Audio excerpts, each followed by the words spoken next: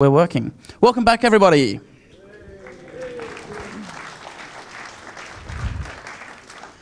Um, so this is a, uh, a rapid session that we've put together, and we've been working closely with Jonathan and the team to um, make sure this is as broad and as interesting as we can make it.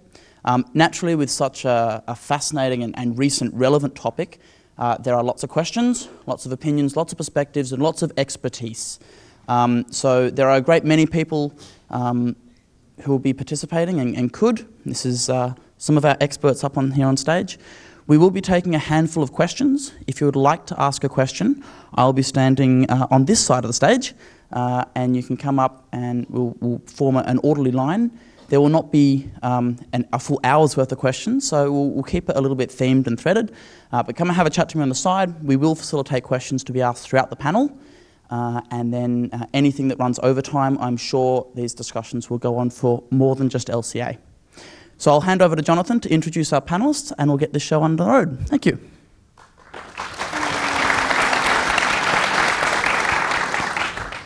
All right, thank you all for coming. Bear with us a bit. This whole panel was organized pretty much the way the whole response to Meltdown at Spectre were organized. Which is why it wasn't on the schedule until this morning. The embargo only broke finally um, a few hours ago. Anyway, um, I'm Jon Corbet. I've been kind of keeping an eye on this whole thing for a little while, writing a bunch of wrong stuff on the internet about it.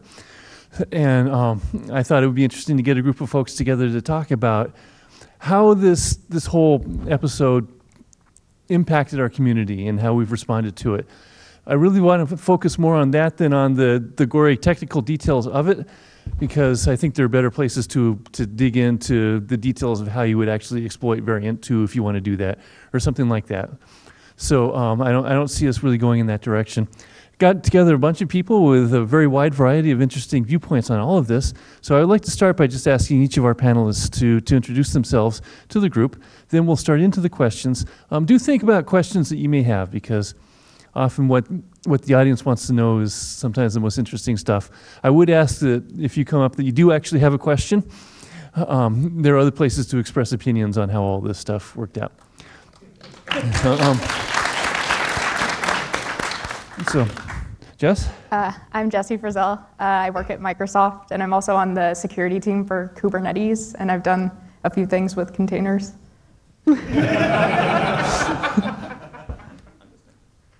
Um, my name is Benno Rice. I'm a FreeBSD developer and core team member. Um, I also work for iXsystems, uh, who uh, develop the FreeNAS and TrueNAS products, among other things. Um, hi, I'm Kees Cook. I work at Google. I do a lot of uh, upstream kernel um, security work. Um, I found out about this ahead of embargo, so I have some background in that area. Sorry, the mic's really awful. Okay. Is that any better? Okay. You need to repeat your introduction. Do I need to repeat? Okay. Uh, Uh, my name is Kees Cook. Uh, I work at Google and I focus on upstream kernel security work. Um, I found out about this ahead of embargo, so I have uh, some more knowledge about how things uh, played out there. Hi, I'm Katie. I'm an SRE at Divio, which is a hosted Django CMS platform, and I did not find about, uh, out about anything until the embargo accidentally happened. So I've been having fun. I'm, uh, I'm bunnie. I try not to write too much code because I make hardware and I break hardware. Um, but uh, I happen to have maybe a little bit of perspective from the inside guts. All right, well, I would like to start just by talking a little bit about the, the impact that it had on our community, in particular, how each of us had to respond to this as it came out. And perhaps in terms of how the way these vulnerabilities were handled impacted your particular group, your particular constituency. And if you have thoughts on maybe how things could have been done better, those, those would be useful as well. So I'll start again with, with, with Jessie. There was like a lot of confusion with when it first came out, and um, the lack of knowledge around how containers work kind of uh, had us fielding a lot of requests as to if containers are going to save you from a hardware bug, which the answer is no. Um, so yeah, there was a lot of that. Um, I think maybe it, a way to fix it in the future would obviously be not having uh, an absolute shit show of an embargo. Um, but yeah, that's pretty much all I can come up with. Um, from the FreeBSD perspective, our primary gripe is that despite having relationships with a lot of the, the vendors involved, we didn't find out until very, very late in the piece. And so we had, I think, 11 days between when we were told from when the embargo stopped um, to develop, you know, oh, nothing small like kernel page table isolation or something like that. Um, which, you know, I don't sort of sheet back to any kind of uh, malice or nastiness on anyone's part. You know, this is the kind of thing that hopefully only happens once in a lifetime. Um, uh, everything's wonderful. Um, and, you know, I'm, I'm just hoping that we can learn a bunch of things about how the disclosure process worked this time to do better next time.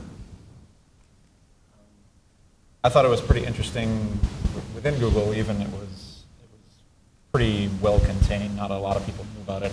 Um, so when I did find out about it, I was pretty constrained with who I could talk to about it. So trying to make sure that everyone who needed to know about it got through some approval process to learn about it um, proved to be uh, somewhat difficult. Um, but I, I don't know why it's not working. What? So let's carry on with the handheld mic. Okay. All right.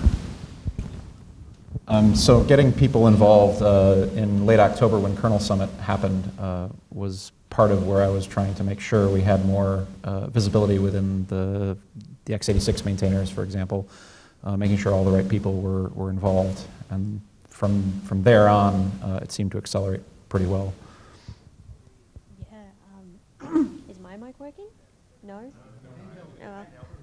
We're just going to pass the handheld down. Um, so from, from my standpoint, I only first heard about it when I saw the wonderful SVGs turn up on Twitter. So trying to work out a response as a platform provider was an interesting experience, and we're still not 100% back to how things were, but it's it's been really great because we've had no major complaints from any of our customers. Everyone's been understanding. And thankfully, in the position that I'm in, we don't host really human life critical systems. So it hasn't been the end of the world for us, but that may not apply to everyone who's had to handle this thing. Is your mic working? Uh, yeah, to, the, to the point of feedback. um, yeah, I don't uh, work particularly with any Linux subcommunity, but I work with the hardware guys. And um, I have to say that I do feel quite a bit for the engineers who worked on the, on the chips.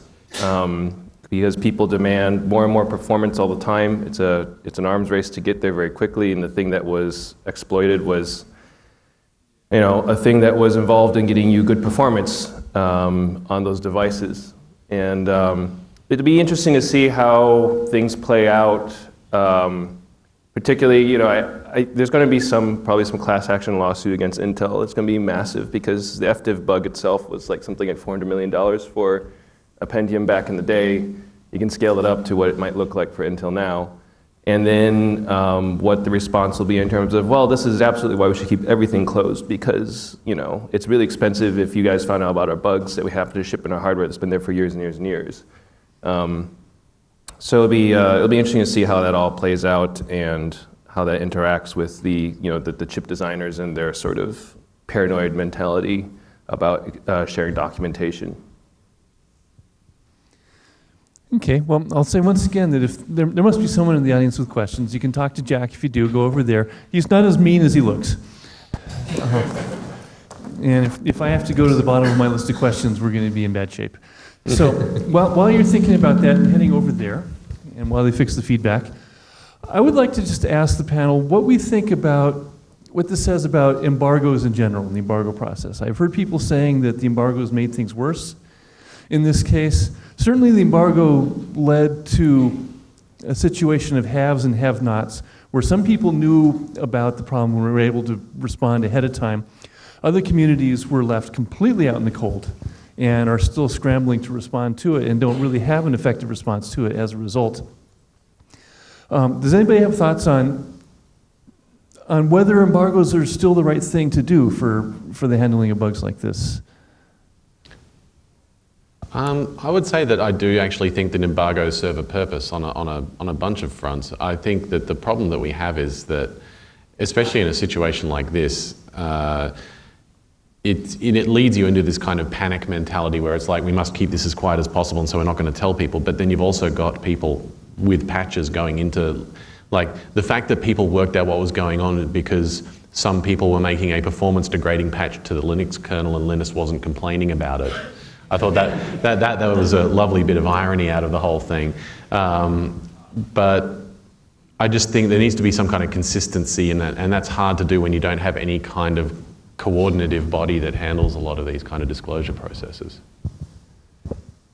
Yeah, I thought it was. Um, a lot of people talk about how the embargo was, you know, a complete disaster, and from my perspective, um, it seemed like notification internally during the embargo is where most of the problem was, but the embargo itself was relatively successful and only broke six days early from something that started in June the year prior, um, and getting a lot of people involved on what was, you know, this is one of the most complex uh, things to mitigate uh, in software since it is a hardware bug. Um, I, I, thought that was relatively successful, and the things that could be developed in, in the open uh, were developed in the open, and, and um, that seemed pretty. That seemed to go pretty well. Uh, people knew something was going on, obviously, from what you had said. it's like, wow, Linus is happy with this. Something is terribly wrong. Um, but uh, it, I don't know, with only people were supposed to be ready on January 9th, and so it went a little bit early. Uh, and that created a bit of a scramble, but from my perspective, it's like, yeah, but what if this broke in July? Like, we'd have nothing at all. We'd be, it would be months trying to get it fixed. Yeah, I think there is like, um, I do agree that it was done well for that time frame. That's absolutely insane that no one like started rumors about it. Uh, but it seemed like there was kind of a decision that like some cloud providers know and some don't. So like it's almost very sad that the small cloud providers, um, like I think DigitalOcean and those, they were like, wait, what's going on? And they actually like pay for hardware. So I'm unsure exactly what happened there, but it seems to be like an exclusive club as to whether you know or don't know, and it's not really clear the lines of who should be informed. In fact, LWN is hosted on a tier two provider like that, and they're still scrambling to, to be ready for it. There, there was, there's definitely, you know, two tiers of, of information sharing here. And I, would hate to see a, a world where only the very biggest cloud providers have access to information about something like this because you know that, that's a competitive. It's also the fact that it's the largest customers of Intel products that get the first tr- drops from Intel, and as community projects that don't have a specific vendor relationship with Intel, um, that puts us kind of on a uh, dunno list. Okay, looks like we have some questions. Thank you much. We certainly do, and I might kick off. Actually, I might jump ahead because it's uh, very much on the topic. Yeah, so um, Jesse kind of preempted my question, which was originally going to be for Katie um, around exactly that topic. As a small provider, you, I'm, the disclosure process doesn't seem to have gone out beyond a relatively small group of big players. How's that affected you? How do you think this could be made better to avoid splitting into a real have-haves, nots, crippling companies like yours in the mar- you know in, in, in, the market. Do you have any sort of comment thoughts on that? Is my oh yay I'm working. Um, so those six days were really important um, because we were running on an operating system that still doesn't have the entire set of patches, but we were able to operate on a case of, oh, this thing has happened. We were able to flick some switches to just disable a whole bunch of access for a whole bunch of different things in our system really quickly, which was really, really useful. Um, so most of our um, hosted platform sites were still up. They were just in an uneditable state. So unless you already had a particular way to get access and exploit this particular bug, you couldn't add any more code, which is fine, but it made everything read-only. So, but we were still up, so no one died, which is great. Um, but yes, just I'm not sure how that kind of thing would scale. Because, I mean, sure, you've got um, Heroku and that who are able to, because they have such a large team, I believe they were rolling out their own uh, compile cut kernels within a couple of days. But then you have smaller providers who are just waiting for the upstream patches that still haven't come. But the, the exponential nature of this sort of thing, I'm not exactly sure where you can expect this kind of thing to stop. Um, I don't have a good answer.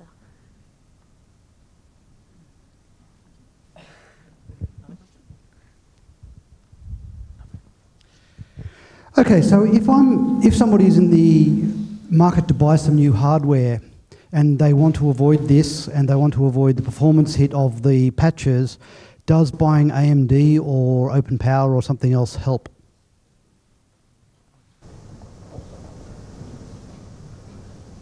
I might like to redirect that question just a little bit because I don't want to be saying we should buy, be buying any particular manufacturer's um, products because everybody has had problems with, with all of this. So I don't, I don't think that's quite the right way to look at it. But it, it does hint on something else I wanted to, to touch on, which is what about more open hardware? Can we maybe fix some of this stuff by going to more open architectures that we can perhaps more directly review the designs ourselves and um, influence and so on. Is, is, is that a path to salvation for this kind of thing? Because some people have been saying that, and it's an appealing idea. Yeah, I, I, I have an opinion on that. I, actually, unfortunately, I think in the case of this uh, particular bug, all the things, all the ingredients that were necessary to make it happen were actually publicly disclosed information. We all know that um, speculative execution occurs. We all know there's timing side channels. Um, one of my favorite uh, quotes from Seymour Cray was that uh, memory is like an orgasm. It's better when we don't have to fake it. And every single time that you go and you try to fake some bit of performance, you're going to have a timing side channel. And that's pretty much essential. Now, if you actually look at sort of the guarantees there in the ISAs, um, they don't necessarily guarantee anything about the timing. Oftentimes, even the clock count of instruction is not really settled in these, in these, in these ISAs. So these are going to exist. And it's not like open hardware managed to walk around the laws of physics and we can, we can retire instructions in exactly the right amount of time and we don't have to speculate, we don't have to do these sorts of things. So unfortunately, I think that for this class of bugs, it's not to, it wouldn't have necessarily saved anybody. It will save you from other types of problems. There's a whole class of things that exploits in hardware that haven't even been disclosed yet, that are just waiting to come out. And uh, you could be saved from them by being able to review the register sets and find out that like, there's aliasing bits and that people have like hidden stuff inside, you know, debug registers and whatnot, and all the pre-boot, pre-boot code that runs before you even get to the reset point uh, vector and all that sort of stuff, and the fuses that are set to disable blocks and turn on things. All these things that you don't even know about that are inside the processors, um, you would be able to find about and review and be like, holy cow, that's really scary. Um, but this particular one probably would not have been helped by open hardware, unfortunately.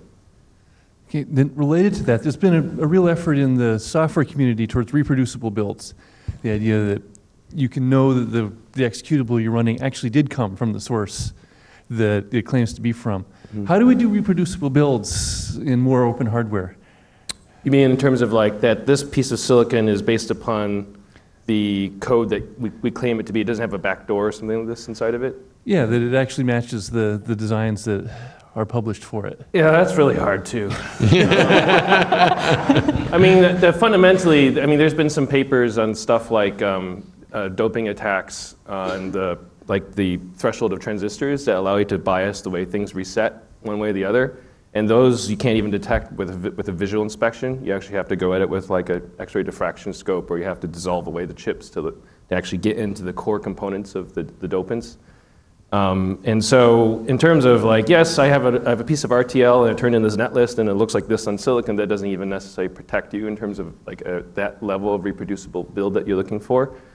Um, and even, even like, for example, uh, you know, um, the guys at SiFive who are trying to do open hardware, um, I've been complaining to them, you know, that you go to their GitHub repo and I'm like, there isn't actually a, a, you know, the source for the chip that they're shipping. They have the FPGA target, and then the actual source for the chip they're shipping isn't actually something you can pull and look at. And it's because there's a lot of complications in terms of NDAs with like the sub vendors and, and bits and pieces, like little tiny blocks they couldn't like get around in terms of getting them open. Um, and you know, that becomes a problem in and of itself for the community. So what you're saying is that everything's wonderful. I mean, it's a, what I'm saying, it's an extremely hard problem, and I know that what people want to solve, and I know that, that we need to keep on working towards this, but the fact of the matter is that uh, we build chips with gates that are a few atoms wide now, right? And that's really insanely hard to do. And, um, the, uh, and then sort of software people have the luxury of being able to pull everything from source. You can build your compilers from source, you can build your kernels from source. We can't build fabs from source, right? It's just like, until we reach the day where we can start to build fabs from source, you're not going to have that same level of like transparency down to the bottom. As far back as 1995 or even earlier, researchers were warning about the dangers of speculative execution as a side channel and were either ignored or the risks were not properly understood. It's reasonable to assume that the same thing is happening today in our industry. Somewhere, someone understands that something that we're doing is inherently risky uh, and they may be being ignored or the magnitude of the danger is not understood. As an industry, how can we make sure that these people are heard and understood? Well, that's a question and a half. I might start by ans- answering that by saying that there are people out there who are warning us that programming in C is inherently risky and is going to lead to all kinds of security problems or um, allowing people to input data into web uh, that gets published on the web pages is we have to do risky things at times, but we don't really get very far. So, um, you know, to say we shouldn't be doing speculative execution seems seems throwing the baby out with the bathwater Yeah. would be my my impression. But maybe someone else has a different thought. Um, I think it's. Uh, I think this serves as a good example of uh, having people pay attention to the more paranoid individuals um, who are who are talking about these problems, um, because you know we've we've understood timing side channels for a long time, but there wasn't uh, what you could consider a practical attack uh, using them. So you know th- the research on this built up and built up until a whole bunch of people all realized the same thing around the same time, um, and having that in mind and trying to keep that uh, at the forefront when you hear someone say, "I think this might be a problem." You know, uh, historically, people are just kind of like, "Eh, but that's an impractical attack." It's like, yeah, but maybe I'm not smart enough to find the practical attack, but it might still be there. Someone else might have found it. Um, and just keeping that in mind when you when you hear those kinds of things, you're like, well, okay, what could we do to defend against this that you know, is is a is an acceptable level of of change or whatever. Um, trying to be more uh, self-protective in that way. As a, as a hardware engineer, I find it insane that you guys think that you can run secrets with non-secrets on the same piece of hardware.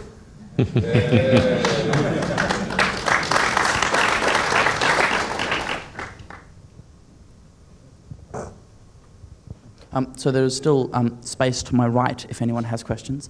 Um, there was a, a very interesting uh, tweet as a question, um, and that was to, to start to explore what criteria do we use to, to uh, invite in and out of that, that disclosure circle. And the reference being with uh, the Drupal community and Drupalgeddon, it was a period of seven hours before there were exploits in the wild. And how do we, how do we choose those tier one, those tier two, etc., for the best outcome?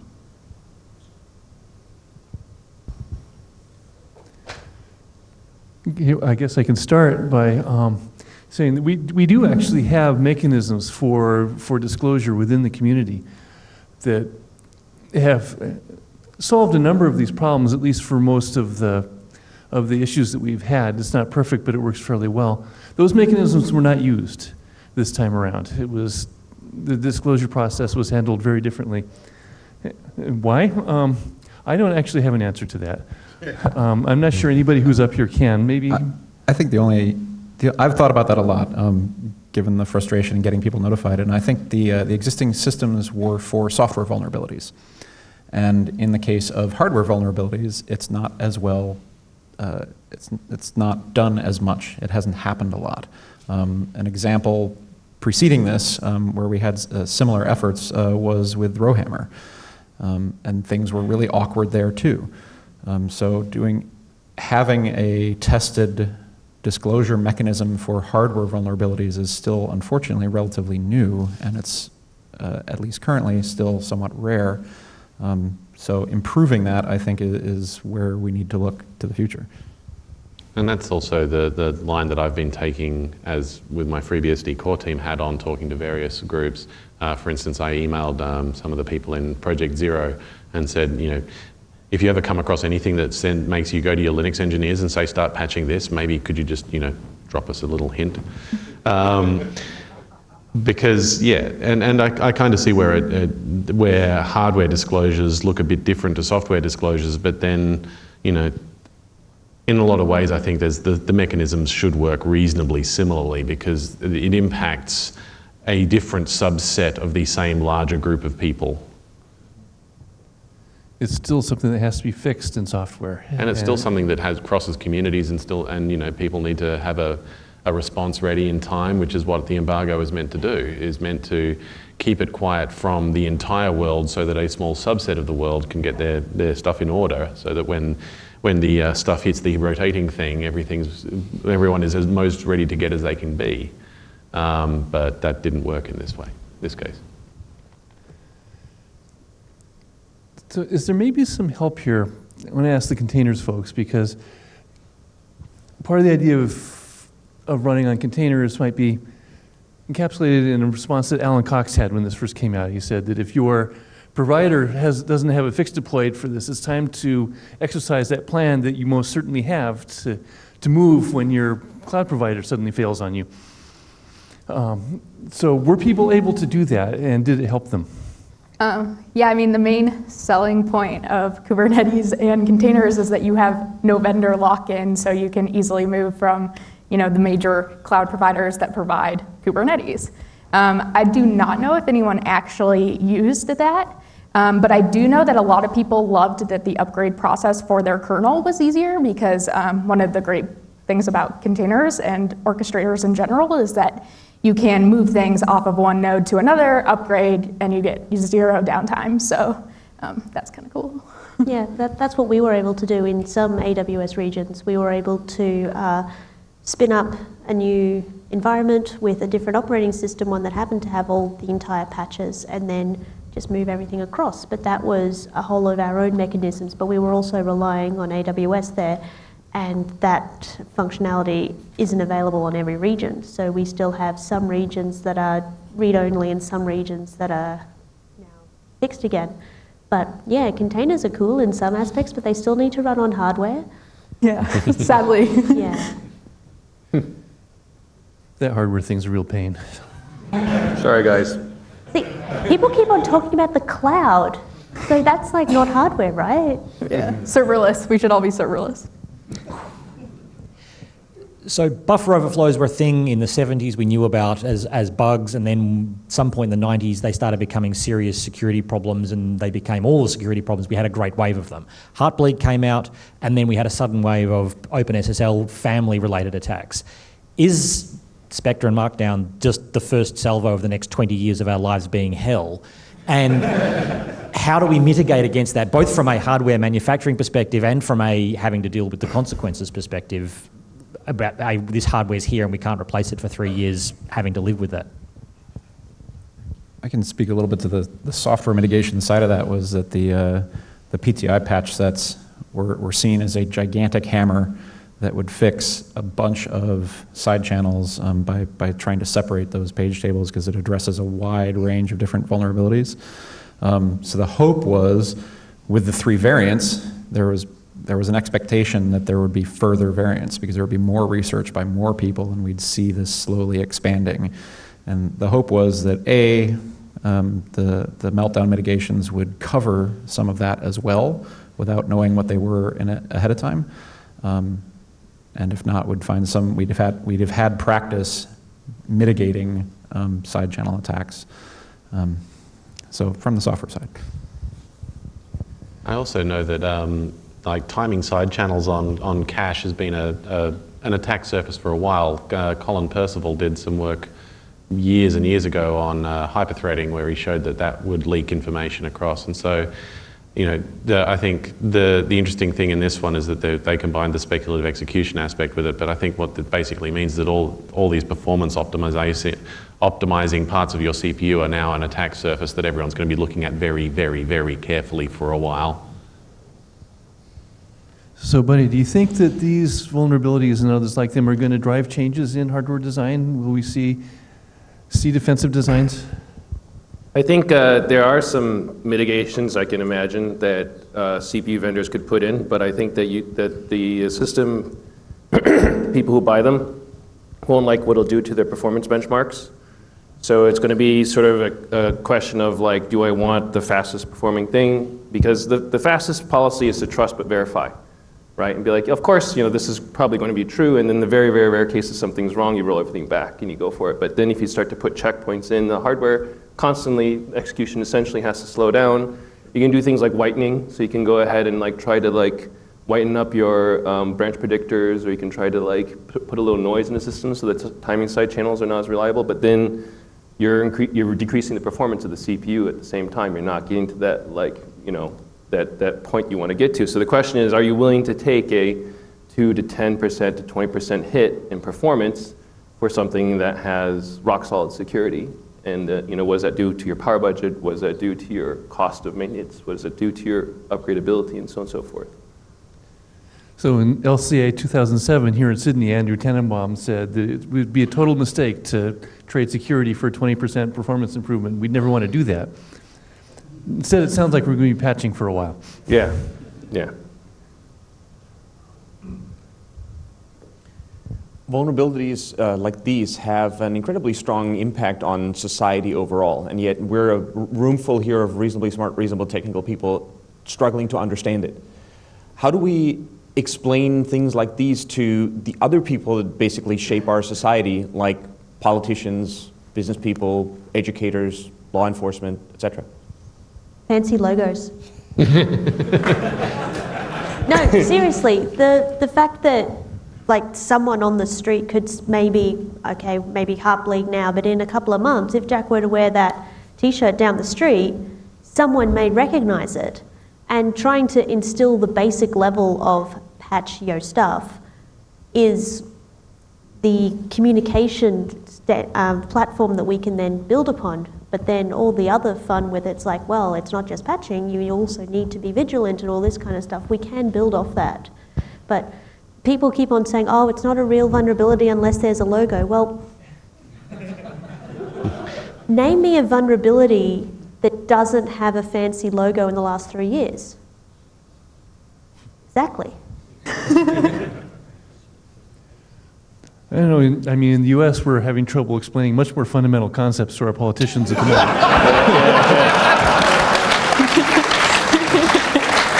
it's not. It's not just the U.S. It's really not just the U.S. Yeah. Yeah. I mean, you know, creating a, a greater security awareness in general is something we've been trying for years and years, and you know, sometimes we succeed a little bit but we still have issues with you know kernel developers getting their laptops compromised and things like that. So I think that we have created a situation where people who are less clued into this really don't have much hope other than do what they're, they're told and hope that it works out as well as it can. I mean, uh, yeah. Do we have anything better than that really to offer? I, I, talk a little bit about that actually in the, in the talk I'm going to give just, just now, so I'll keep All right, my, well, I'll keep my mouth shut. All right, looks like you got another one here. Uh, and we're probably at about the, the eight or nine minute mark, so we've probably got time for possibly one more question after this, and then we'll wrap up with uh, final words. So, uh, have people had a look at older CPUs, perhaps that don't have speculative execution? Because I I think that the results could be interesting.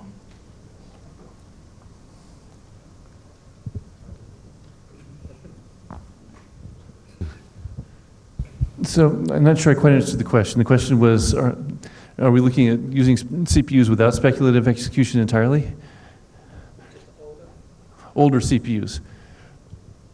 Well, speculative execution, of course, has been a feature of any performance CPU for quite some time, so you have to get pretty old. There, 46, there are, I think. there yeah. are things on the market that I don't like. Does Atom do speculative execution? Yeah, for it sure. does. Okay. I think you have to go back to 46. I have a 486 in my apartment. Yeah, there. you're safe. You're safe. So everyone just Put your private migrate everything there. onto Jessie's 486. We'll all be good. I'll, I'll take that as a comment. Yeah, I, I think speculative execution is with us. That's just part of, at least until we get rid of the memory bandwidth problem or something like that that, that drives it. And I don't see that right away. Uh, we've got a couple of questions coming through. Did you have some, some final points? Hang on. Um, we got time for, uh, for some others.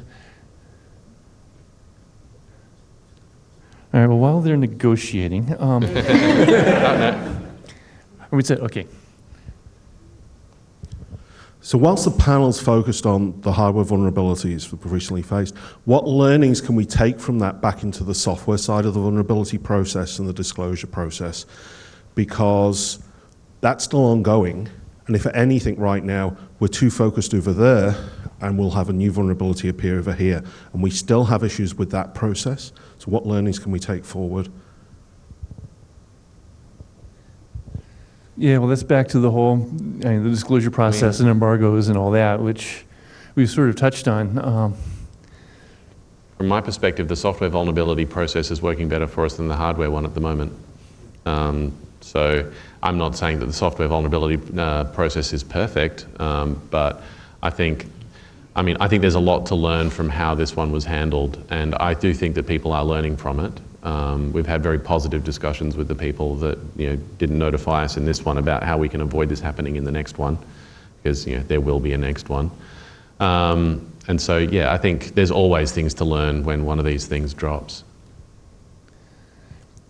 I actually had just one question for you, you guys. The uh, embargo process, who, who are you actually trying to protect against by embargoing? Are you trying to like make sure just random script kiddies don't use this, or are you looking to keep like state level actors away from trying to exploit every computer in the world? My understanding is Um, yes. protecting against you, is that? We're, we're trying to stop this person here from finding out.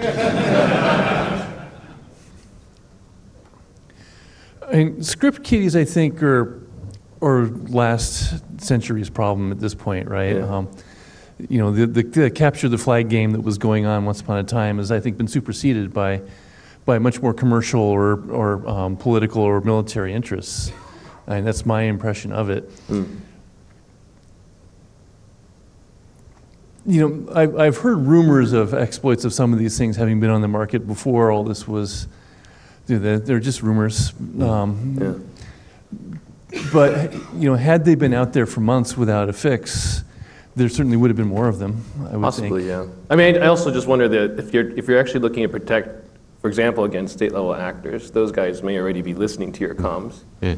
And they would have known the exploit the same time you guys would have known it, and then actually just opening up to the whole community to solve the problem, and having us all band together against state level actors would have been a much power, more powerful response than trying to trying to isolate it in areas which, I mean, In my, in my point of view,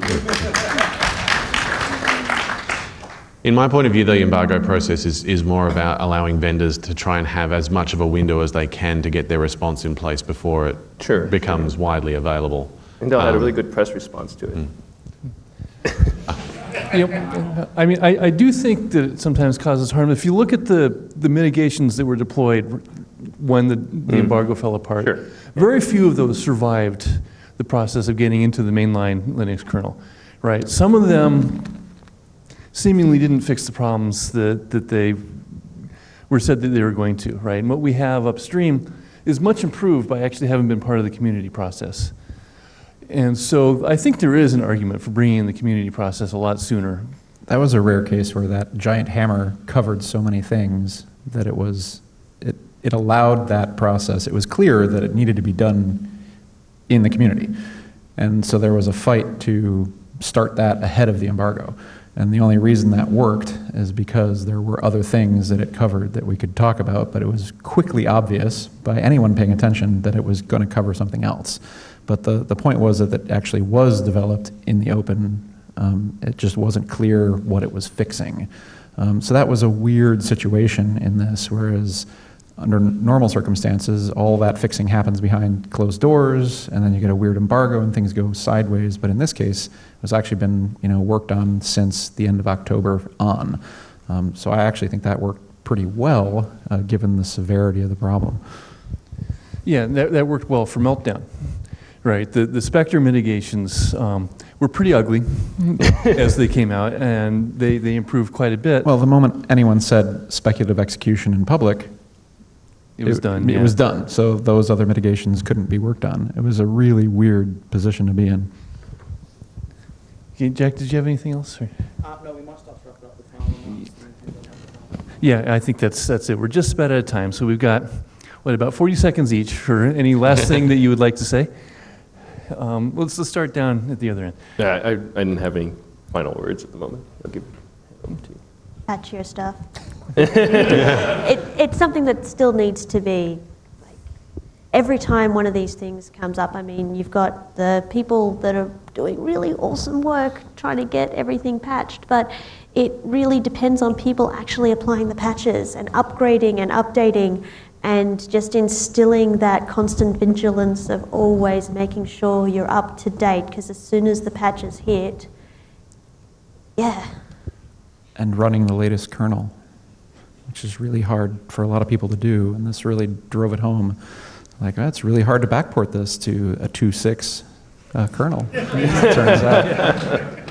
Or 3, or any 4. Anyway, um, one, one perspective I've tried to have in my mind is, uh, you know, once this got disclosed in January, people said, oh my God, this is, this is the worst year. 2018 has started off so badly. Like, no, no, no. This was all found, the badness was in 2017. Now we're fixing it. So that's, that's the best perspective Now I've we got. rebuild. Yes. Um, yeah, I just um, my only takeaway from well, my main takeaway from this, apart from like oh shiny new things to look at, is um, that's the positive spin on meltdown. Um, is just we need to work out how to handle these disclosures better, and that's an ongoing process. We're never going to get it 100% right. We're always going to muck something up, but let's learn from what we can from this and apply it for the next one. Yeah. Um, I would just say containers sadly won't save you, but they will ease your pain in upgrading. All right, I'd like to finish with a bit of a plea for the industry, especially industry involved around this. Normally, when an embargo ends, we get timelines and we get a pretty much a full disclosure of what happened.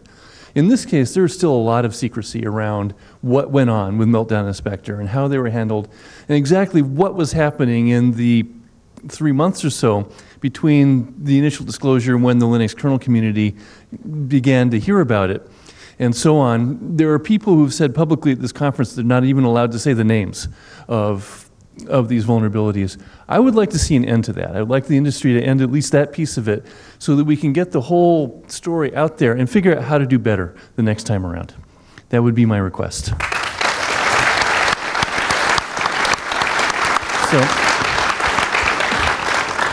on that note, I would like to thank our panelists who came together on very short notice to make all this happen. And thanks to everybody who asked questions, and thanks to all of you for being here. And thank you yourself. Another round of applause for our panel.